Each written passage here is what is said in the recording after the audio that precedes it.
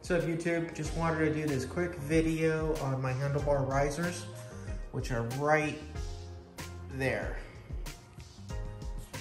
These are made by a company called Hornig, like H-O-R-N-I-G.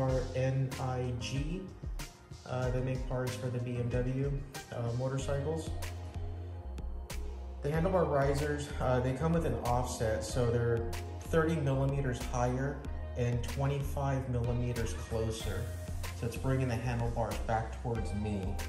Uh, the reason for this is that it just gives me a more relaxed seating position. So if that's something that you are interested in, then I'd recommend either using them, for Hornig, or if you can find them somewhere else, I would imagine it's the same thing. Um, not getting paid for this by them, but this, uh, I'm happy with it. I'm happy with the results. It's kind of like a self-explanatory install. Very easy, just undo those four bolts right there, pull up uh, these four right here, uh, remove those, slap on the handlebar, and then you put the risers on top, and then just bolt them on in. That's basically all you gotta do.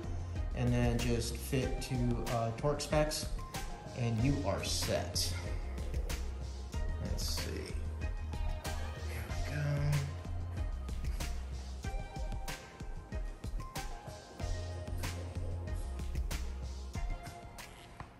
Thanks for watching.